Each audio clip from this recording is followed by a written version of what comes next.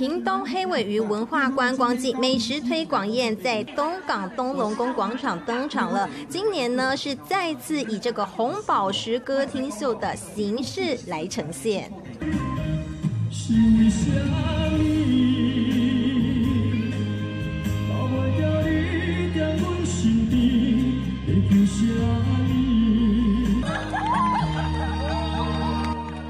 歌手许富凯带来动听的歌曲，而且还很亲民的与民众互动，许多粉丝更是带来这个看板来应援。另外还有黄飞和郭忠佑等人是轮番上阵的演出，而这个半桌十道菜肴真的是非常非常的澎湃，像是可以看到海钓双拼里就有鱿鱼子和生鱼片，另外炙烤尾鱼、琵琶骨等精致美食更是陆续上桌，让大家可以边吃板的边听歌，现场气氛相当热闹。